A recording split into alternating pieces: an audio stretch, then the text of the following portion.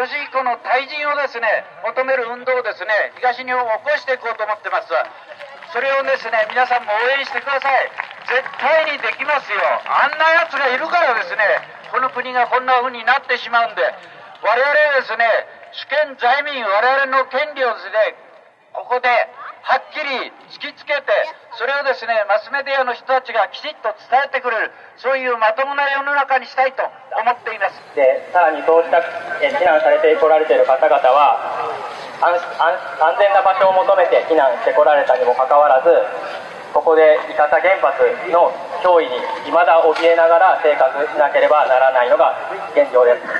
そうした方々が安心して暮らせるようにまた私たち自身が安心安全な暮らしを営めるように私たち学生はこれからも原発に対して声を上げていきたいと思っています。どういうことか分かりますか？実際にも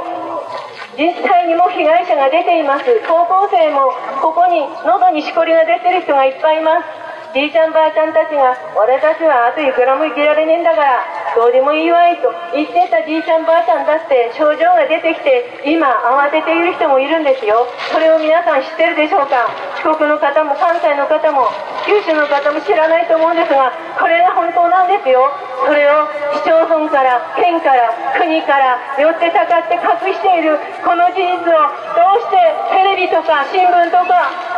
報道週刊誌は報道しないんですか？芸能人のくだらないゴシップやね。スクラップを報道するんだったらば政財界の人間の子供や孫たちが今どんな人たちが海外へみなり抜いているのかそれから福島県内で現実に起こっていること報道してみろ。私はそれを言いたいです。今福島の女たちが私が持ったと同じ悩みを抱えています。先日福島から10人の子供たちと5人のお母さんに広島に来ていただきました。子供たちはお母さん外で遊んでもいいんだねと言って泥んこになって遊びました。その彼女たちの体を甲状腺を甲状腺の専門医が調べてくださいました。すでにお母さんの2人と6歳の子供たちの2人に甲状腺の腫瘍が認められました。しかしそのことは全く公表されません。取材もありました。でもその取材をしたテレビ局は何にも異常がなかった赤ちゃんのことだけしか、えー、公表いたしませんでした。